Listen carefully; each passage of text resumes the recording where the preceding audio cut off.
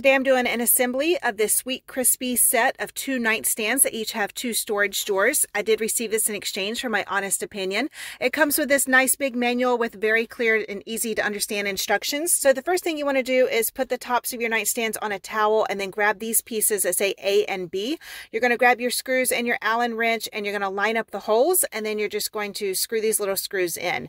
We'll have to do this for two sides on each table. Next you want to grab one of these bars and some screws. The manual tells tells you which ones these are. Everything is clearly labeled. And you're going to use your Allen wrench and just screw these in. Um, there's two of them for each nightstand. Next, grab up some of these foot pads. And this is really easy. You're just going to screw each one of these into each leg of the nightstands. So now we have the frame of the nightstands put together. You're going to grab the drawers and the piece that goes down here in the bottom. Then you're going to grab a wrench, some screws, and the handles. And we're going to put the handle on each drawer. One of these Allen wrenches has a Phillips head on it. So you're just going to use that to screw these handles on to each one. This also comes with some wall wall anchors and screws if you want to attach it to your wall. So now everything is done. I'm just going to put the drawers into the nightstands and this is what our finished product looks like. Overall, I'm very happy with how these turned out and I'm excited to use them.